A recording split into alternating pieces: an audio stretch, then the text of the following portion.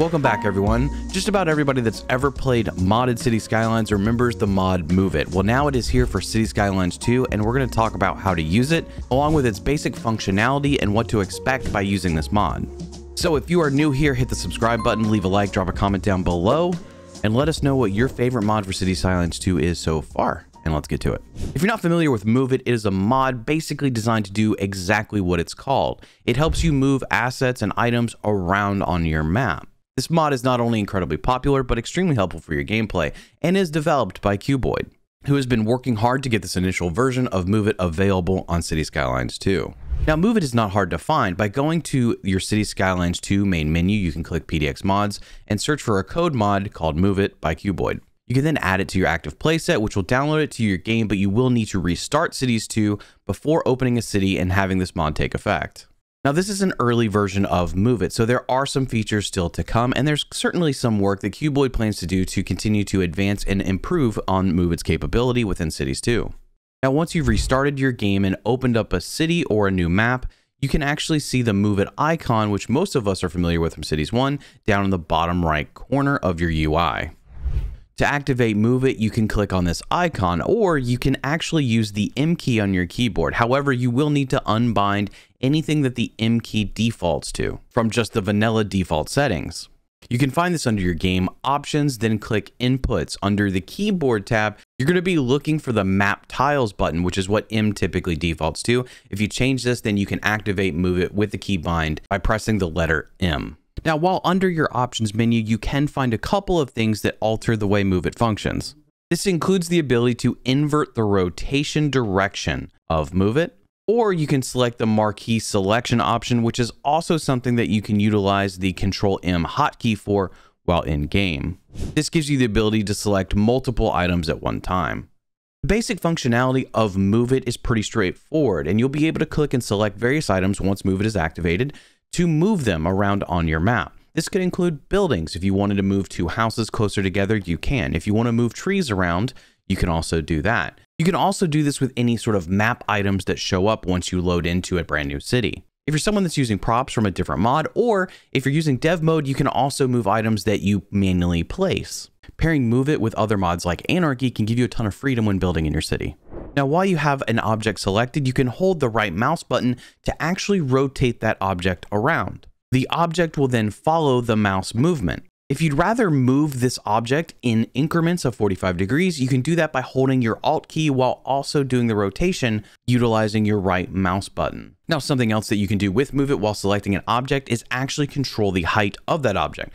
So while you have an object selected, if you hit the page up button on your keyboard, you can increase the elevation of that object. And by pressing the page down key on your keyboard, you can lower an object. This can be really helpful when you're working in an area that has height changes and you need to adjust the height of certain objects to fit the level of terrain. And maybe one of the most helpful features Move It has is that when you are moving an object, if you move it to a place that you do not want, you can hit Control Z to undo that movement. This can be helpful when trying to remove a mistake you have made, but you can also hit Control, Shift, and Z at the same time to redo a movement. Now, if you want to move multiple items at once or a group of items, you can use the toggle Control M on your keyboard. You can then draw an area that you want to select multiple items, and you can then move those items together. Now, everything that we just talked about with regards to manipulating single items in terms of rotation and height can be done with the marquee selection tool so that you can actually change the rotation or height of multiple items at once. Now, if you would rather just move a couple of selected items in an area, you can click and hold the shift key, adding multiple items to that selection, which you then can use move it to relocate those items. Now there is a hotkey to also deselect. So whether you're in marquee selection with multiple objects selected or a single object selected, you can press Alt and the letter D on your keyboard to deselect whatever you currently have selected. You can also deselect whatever you have selected by right clicking on your mouse. Now beyond just building an objects, Move It can also interact with road design or pedestrian pathing. Much like we're familiar with with City Skylines 1, Move It can actually control the placement of nodes. Nodes are like endpoints or junction points in your roads.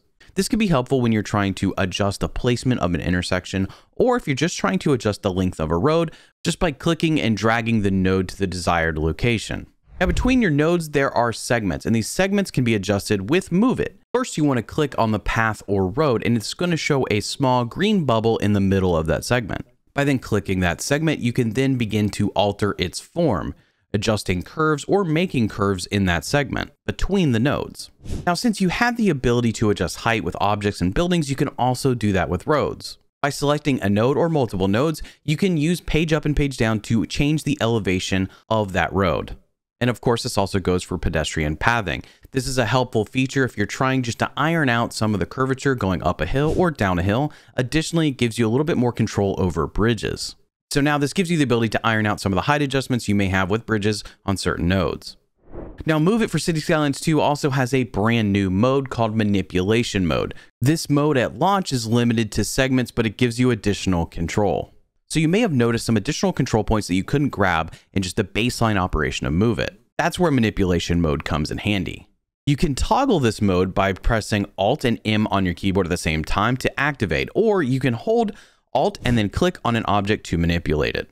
You can leave this mode if you've toggled it on by simply right clicking. Now this gives you additional control over your rotor pathing design and what it allows you to do is something similar to what Node Controller did with City Skylines 1 because manipulation mode actually gives you the ability to interact with the access point closest to an intersection, which allows you to make adjustments to that intersection itself. So if you're looking to polish up an intersection that might be at a funky angle, or you need to just make an intersection a little bit larger so that it makes more sense given the situation, you can do that utilizing manipulation mode.